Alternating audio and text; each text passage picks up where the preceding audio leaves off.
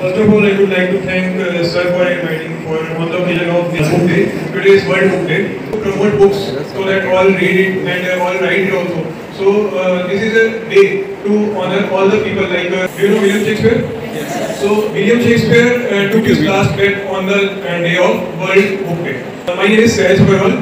Uh, I am from Jammu City, Jammu and Kashmir, India. And uh, uh, I am doing aeronautical engineering from uh, Excel Engineering College, Tamil Nadu. I am in third year now, and I have written two books. So my first book was Poems by Sahaj Sabharwal. This book I have written when I was uh, 17 years old.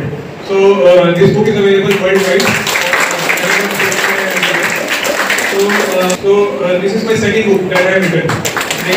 Pedagogical thoughts. I have written when I was uh, 19 years old. Nowadays, the students get uh, demotivated because uh, of failure. This book uh, will motivate you and will inspire you to do better. Failure is also important. If you get failed, then only you will learn what is failure. And failure is an experience. It is an uh, important experience. With failure only you will let, uh, this will help you in uh, not getting over motivated. If you get over motivated or you have a bad attitude or have an ego, holiday is not given even on Sundays, as there is negligible for Fridays. Parents are great not to get blame from minors, they just want their pay. Circumstances are same for every minor, parents are just their time center. Thank you.